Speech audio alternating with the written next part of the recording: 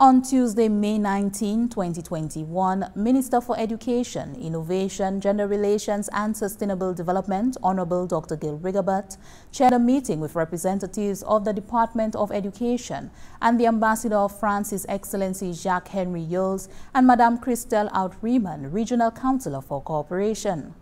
The minister reminded the meeting that among other endeavors in 2018, a delegation visited Guadeloupe to discuss ways of managing the troubling sargassum seaweed issue.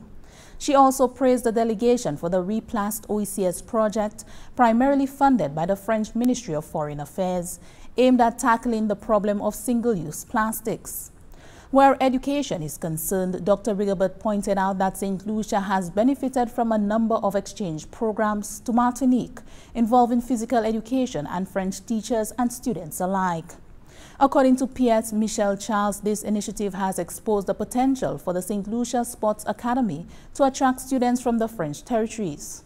With respect to the Sir Arthur Lewis Community College, Dr. Keith Nurse spoke of the twinning of the college with sister institutions in Martinique, with an emphasis on hospitality training and culinary arts.